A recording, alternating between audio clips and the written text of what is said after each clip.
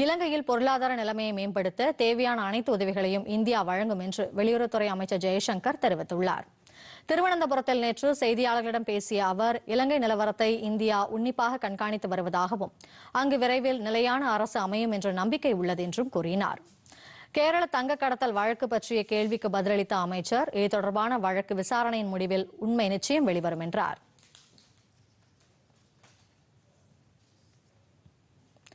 முன்னதாக திருவனந்தபுரத்தில் மத்திய அரசால் செயல்படுத்தப்படும் பல்வேறு திட்டங்களின் பயனாளிகளுடன் கலந்துரையாடிய அவர் கொரோனா பெருந்தொற்று காலத்தில் அறிமுகப்படுத்தப்பட்ட ஏழைகள் நலவாழ்வு திட்டங்கள் சாமானிய மக்களுக்கு பேருதவியாக அமைந்ததாக குறிப்பிட்டார்.